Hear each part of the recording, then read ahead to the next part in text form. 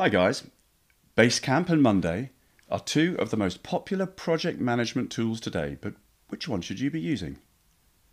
To help you make an informed decision, I'll explain the main differences between Basecamp and Monday, and we'll consider 10 criteria to see how these two tools stack up.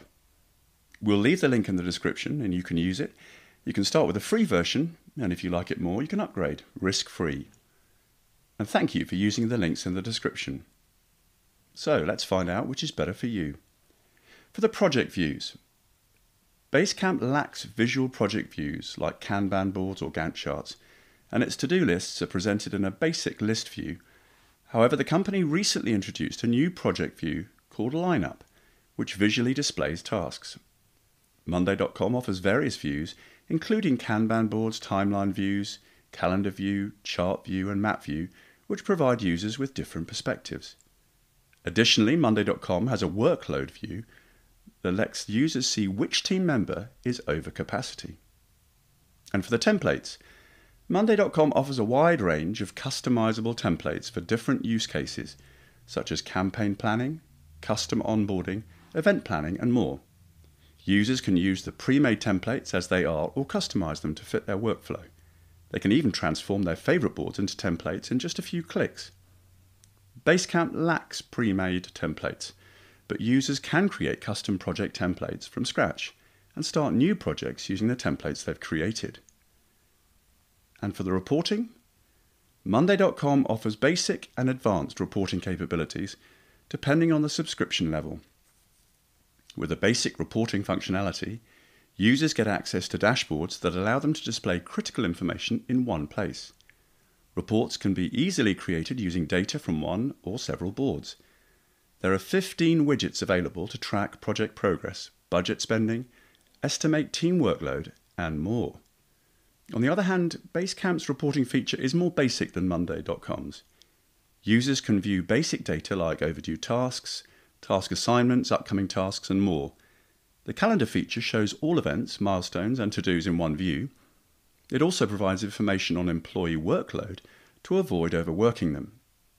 While both tools have reporting capabilities, Monday.com's are more advanced. If your reporting needs are more basic, then Basecamp may be a better option. And for the task management, Monday.com has an abundance of task management features, such as board views, dashboards, time tracking, and automation. The software makes it very easy to set up tasks and subtasks. You can add assignees with custom fields, permissions, due dates, and checklists. Additionally, Monday.com has task dependency tools that Basecamp lacks. In contrast, Basecamp has a to do list inside each project and team space. Users can create task lists, assign tasks to team members, add due dates, descriptions, attachments, and more. Tasks can be assigned to multiple users, and they can even be made recurring. While both tools have task management features, Monday.com's toolkit is more robust, while Basecamp has more collaboration and communication features. And for the pricing, Basecamp's pricing plans range from $99 a month to $199 a month, with an unlimited plan for larger teams. However, Basecamp's pricing may not be suitable for small businesses with a few employees. You can choose to pay annually to save 10%. Monday.com has three paid plans ranging from $8 to $16 per user per month, with a minimum of three users, and an enterprise plan with a custom quote. Keep in mind that the platforms offer discounts for plans billed annually. Prices are higher if you pay monthly. For the documents and file storage, Monday.com's file storage is based on subscription plans. With the free plan, you get 500 megabytes of storage space while the basic plan provides 5 gigabytes. The standard plan is more generous, offering 20 gigabytes of storage, and the Pro plan goes up to 100 gigabytes. That's not all though. Monday.com recently introduced Work Docs, a new feature that lets you create and collaborate on docs with your team members within the software. You can embed boards, dashboards, videos, and even turn things in the docs into actionable tasks. Basecamp, on the other hand, provides a dedicated space for file sharing in every project and team. The free plan comes with 1 gigabyte of storage space, while the paid plan offers a whopping 500 gigabytes. You can import files from your device or link to files in various other software, such as Airtable, Dropbox, Figma, Adobe Creative Cloud, Notion, and more. And if you need to take notes during meetings, you can create docs in real time and easily export them to Microsoft Excel. So, which one should you choose? It all comes down to your priorities.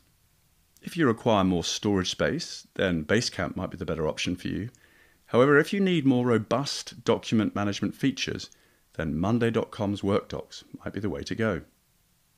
And for the integrations, both tools offer integrations with Basecamp's integrations feature called Doors, which integrates with over 70 third party tools.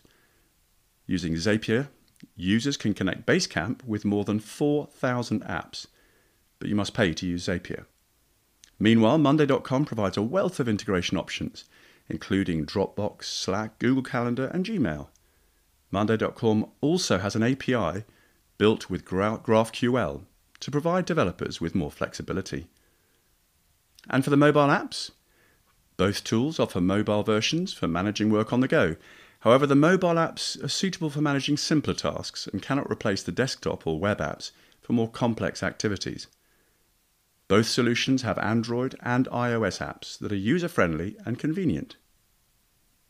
And for the time tracking, Monday.com offers a built in time tracking feature available with the Pro plan and higher. Team members can track how much time they spend working on tasks, and managers can get a time report for individuals or the whole team to see the total amount of time spent on tasks. They can even receive a notification when a person or a group reaches a certain number of hours. Basecamp, on the other hand, does not have a native time tracking feature, but users can add this functionality via add ons like Toggl or Everhour.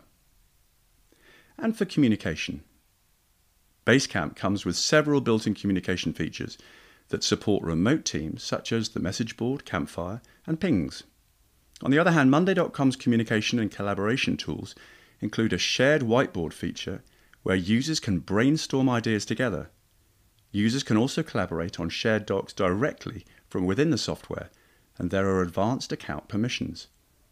While there's no built in chat option in Monday.com, people can comment on tasks. Both tools offer client access, which allows external users to view projects and tasks, eliminating the need for long meetings and email chains. In this category, Basecamp wins, as it offers a range of communication features and automatic check in options, allowing managers to create custom questions for team members to answer in their own time. So, choosing between Basecamp and Monday depends on your business and your needs. Both tools come with advantages and disadvantages, so there's no best solution. It will depend on your current needs. If you're still not sure which to pick, here's my recommendation.